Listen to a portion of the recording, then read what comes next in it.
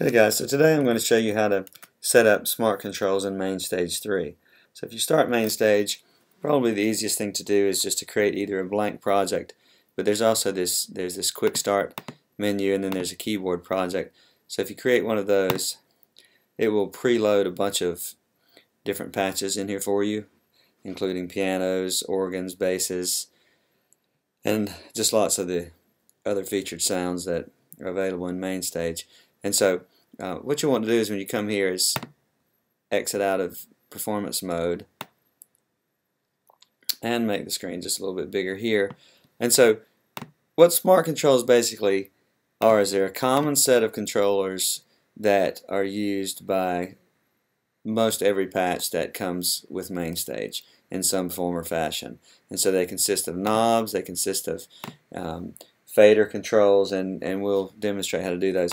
But the quickest thing to do is to go into your setup, choose a patch, it can be any of the patches that you'd like, um, and then once you've chosen the patch you'll see the controls over here in the Smart Controls panel that you can set the controls on. So you click on one of your controls you'd like to assign and click assign and map and then in my case I'm going to use these eight encoder knobs that I have here and I'm going to start with the top left as number one and just move it until you see it moving the control on screen. So you can see that's that one. Then click on the next one that you want.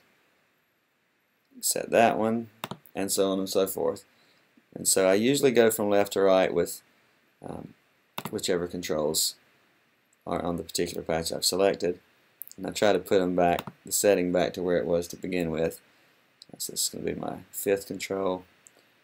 There you go. And then also reverb control here. And so it's important to like click, then move the control, click, then move the control. When you're finished with that, just click assign map to turn that off. And now you'll notice as I play, I can use this first encoder knob to increase the low end in that. I can use the second one, of course, to change the high end compression, maybe a little bit of delay down here. There's the wrong knob. Let's see, that's this one.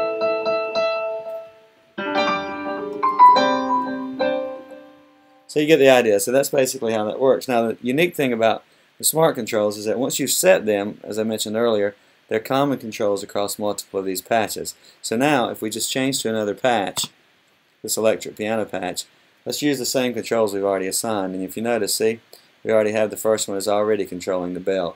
That's why they call them smart controls because you don't have to really assign them to every single patch. They're, once you assign them to one, they're already assigned. So let's do a little tremolo there. So if you can hear that difference. And that's what's going on. Now in this particular case though, if we go from the ambiance on over to drive, and I think we, um, the bass is assigned. But when we get beyond that, the prior patch didn't have these last two assigned. So let's go ahead and do that same thing we did earlier.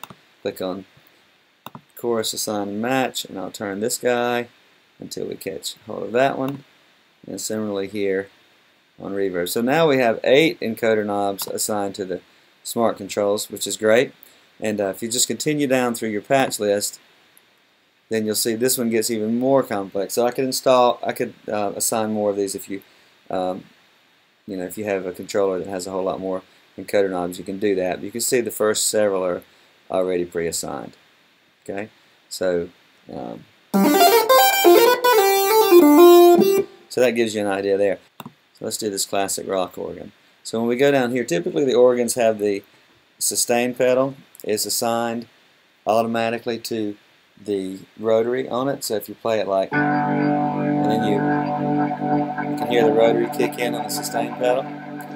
So if you could find a patch that has um, fader knobs on it, then you can, or faders on it, then you can go ahead and assign those, and then again they'll carry over to the other patches. So in this case, there we go, we've assigned that one. Let's go to the next one. And so you get the idea. The key is to find the controls that you would like to assign and then assign them uh, appropriately. So now those are assigned. We can see these and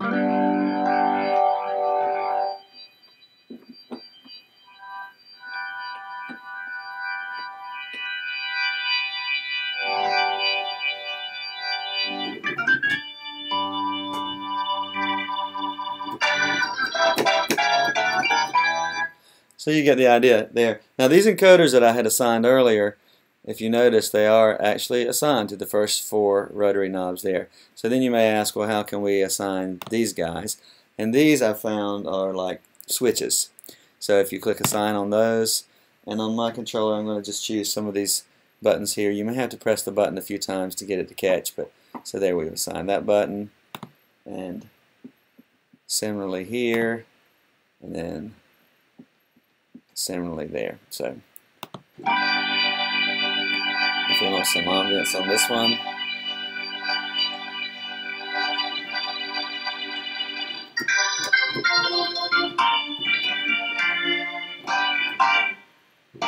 So there you go. Now notice here if we look at these switches that we've assigned here to the chorus and such. Now what I do here, if I turn this on and off, you'll notice I'm having to hit the button multiple times. If you have that happening on any of your switch controllers, if you go to the controller, select the controller, and then go down here under, uh, in this case it's vibrato upper, and you'll see a checkbox that says momentary behavior. If you check that, it will make this switch respond correctly. So you can do that to correct that problem if you have that problem. So let's go over here. Similarly here, this one appears to be behaving just fine, and this one has the same problem. So set momentary behavior on that one, and there you go. So now they're responding as expected. And um, you can set other things like the range is what the saved value is by default when the patch comes up. So that's a useful thing that you can do is there as well there. So let's try that out no chorus. Do that kick in and do the. There you go. Okay, so I hope you found that useful and uh, have fun with your smart controls. Thanks.